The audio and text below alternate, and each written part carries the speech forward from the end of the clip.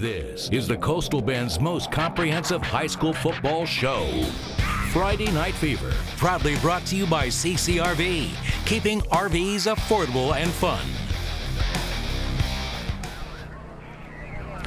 All right, you're watching live from Hornet Stadium in Flour Bluff. The game has just gone triple zeros. Flour Bluff hangs on for one of the wildest games ever 33 to 28. You see the two teams in the middle of the field right now congratulating each other. It was amazing. Let's get to the early first half highlights. Watch. It's always a big night whenever the Hornets and the Wildcats get together. No longer district foes. This game was for bragging rights, and that's plenty to play for. And here we go. Early on, the Cats are going to get on the board first. 5.20 to play. It's A.J. Brown around the right side. Eight yard run. They miss the extra point, and the Cats own the scoreboard early, 6 0. But on the ensuing drive, here come the Hornets. The big man, number 44. Javaris Lawson, the guy who normally plays linebacker, scores and they get the extra point, and the Hornets take a 7 to 6 lead. Now we advance to the second quarter. 6.29 to go. Look at Braden Sharon. Finds a wide, wide open Kenny Whitehurst, 26 yards out. And it's now 13 to 6 in favor of the Hornets, and they would stretch their lead. 18 seconds to go in the first half. The big man again is at it.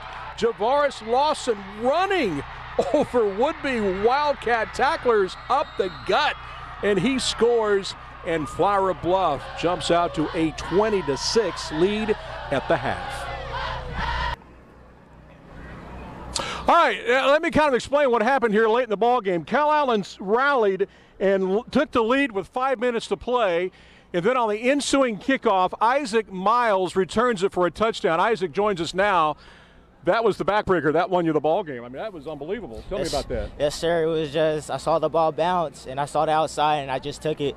The line they blocked. I got one. I got one great block by one of my one of, one of my good friends, Kenny Whitehurst, at the end to get me in. All right, this means a lot to you guys to be able to beat Cal Calallen. I know it's not a district game, but it's uh, it's for bragging rights. Tell me about that. It's not what I call it bragging rights. I'll call it rivalry game. Yeah. The okay. best, the best of the best go against each other. There's nothing better than that. Okay, the game literally ended just seconds ago, and he was nice enough to run over here. Now, here's what you're going to get tonight. You're going to get the Friday Night Fever Game of the Week trophy.